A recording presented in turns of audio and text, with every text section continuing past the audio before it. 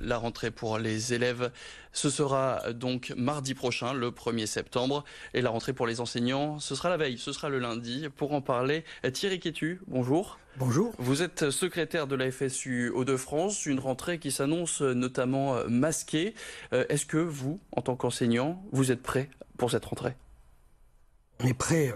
On attend surtout des consignes un peu plus claires sur le mode de fonctionnement dans les établissements, puisque le masque ne peut pas jouer simplement le rôle de protocole. Il y a encore énormément d'endroits où nous ne savons pas exactement comment ça va se passer, comment ça sera géré au quotidien. Et des inquiétudes, nous en avons beaucoup. Des inquiétudes par rapport, justement, vous l'avez dit, aux questions sanitaires, mais également aussi par rapport à la prise en charge des difficultés des élèves suite à cette longue période de travail à distance pour certains et décroché pour d'autres. Le protocole sanitaire, vous en aviez une première version, c'était au, mois de juillet à peu près. Il a évolué. On a donc appris euh, hier de la démo de Jean-Michel Blanquer que le masque serait obligatoire à partir de la sixième, mais aussi pour tous les enseignants. Est-ce que pour vous, cette mesure est suffisante? Elle était nécessaire. Mais euh, est-ce qu'elle sera suffisante par rapport à tout, à la propagation du virus quand on le constate à l'extérieur? Euh, Il semblerait que pour cette rentrée, euh, le ministre nous appelle à qu'il y aura une entrée normale. Non, elle ne sera pas normale. Pour nous, elle est hors norme hors norme puisque le virus circule à l'extérieur et donc nous avons besoin d'être rassurés, de savoir comment va fonctionner les établissements. Imaginez par exemple un gros lycée de l'académie avec plus de 2000 élèves où nous allons avoir euh, du brassage d'élèves dans tous les sens avec euh, la réforme du lycée qui justement accentue ce brassage et va poser d'énormes soucis en termes sanitaires et tout simplement en termes de sécurisation des élèves. Justement, si ce protocole n'est pas vraiment abouti, c'est qu'il doit être euh, appliqué au cas par cas. Et ça, c'est quelque chose qui, pour vous, n'est pas logique ou justement le fait de, de qu'il soit appliqué selon les zones géographiques, selon même par établissement, parfois, ce serait une bonne chose pour la rentrée. Les zones géographiques peuvent se comprendre. Mais la question, c'est le niveau local. Le niveau local ne, peut pas être la norme pour l'éducation nationale. Le niveau local va faire des interprétations différentes selon les endroits et donc peut-être aussi des différences importantes et donc des impacts différents selon les établissements. Et puis, euh, Parlons du masque, il est obligatoire donc pour les enseignants. Alors on a appris que la région allait en fournir pour les élèves. Qu'en est-il des départements? Qu'en est-il aussi peut-être pour les écoles, pour certains élèves, dits fragiles, etc. On, a à ce, jour quand même énormément d'inquiétudes sur les dispositifs et sur le fonctionnement. Prenons un exemple très concret du collège, par exemple, le chant choral.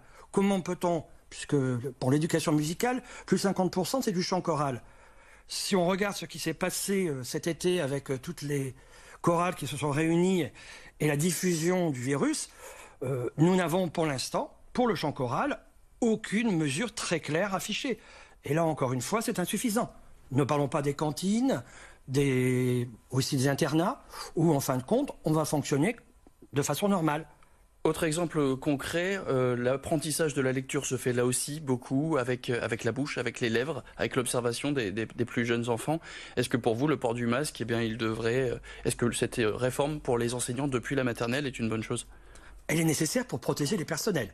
On en est tout à fait d'accord. Mais ça va compliquer leur travail. Ah, ça va compliquer énormément le travail, pas seulement de la maternelle, mais jusqu'au lycée, puisque le ressenti que l'on a par rapport aux élèves quand on travaille avec les élèves, c'est bien sûr l'expression totale du visage. Et donc, bien évidemment, alors, pour l'apprentissage de la lecture, bien sûr, la bouche, positionnée, etc. Il y a, il y a un moment de choses qui vont être compliquées. Alors, on a vu que certains ministres avaient des masques transparents.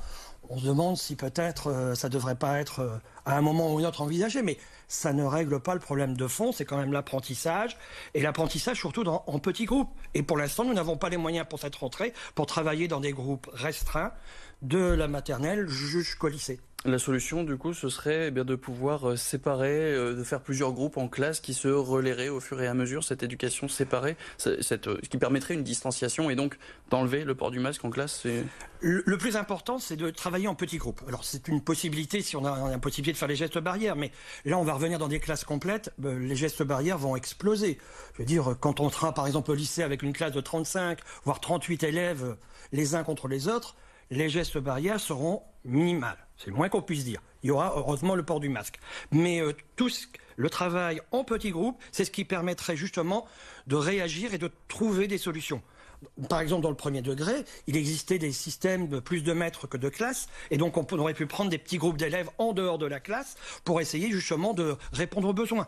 Au collège et au lycée, on aurait pu aussi mettre davantage d'enseignants pour couper les groupes, et donc dans ce cas-là, mettre des classes avec des équipes plus faibles.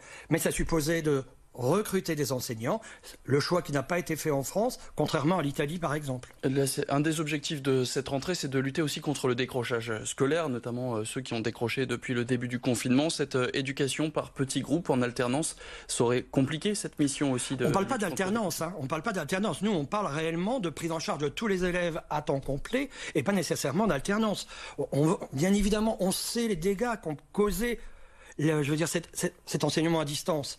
Nous avons assuré avec notre matériel la continuité du service, mais on ne peut pas dire que nous avons pu toucher tous les élèves, loin de là. Et puis la distance ne remplacera jamais le présentiel, et donc ce contact important humain.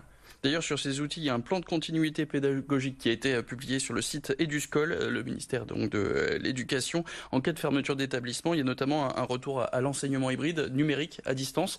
Vous avez tous les enseignants sont formés, sont prêts à utiliser ces outils. On a vu par exemple à la Réunion, ça a rouvert il y a 10 jours, il y a déjà 30 établissements qui ont fermé. Donc il y a quand même bah, il y a quand même des mesures qui risquent d'être prises en France. Est-ce que les enseignants sont prêts s'il fallait reprendre cette euh, éducation à distance? La seule formation que nous avons eue d'abord, au premier temps, c'était par nos propres moyens. La plupart du temps avec nos propres outils. D'autres outils, les outils institutionnels ont été défaillants. Il y a eu quelques formations qui n'ont pas touché tous les enseignants, loin de là. Mais on peut constater aussi que nous n'avons pas le matériel concrètement pour le mettre en place. Le ministre a annoncé hier, fièrement, 2000 ordinateurs pour toute la France.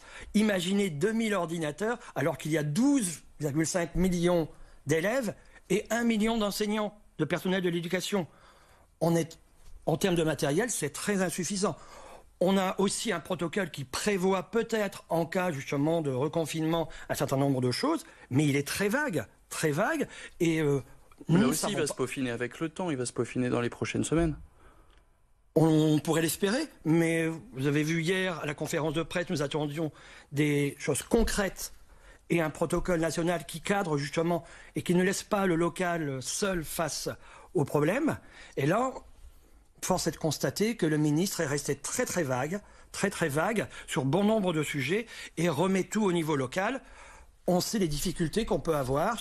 Prenons par exemple dans le premier degré, selon les communes, le mode de fonctionnement. Et donc, euh, par exemple, mais on trouve la même problématique au collège et au lycée.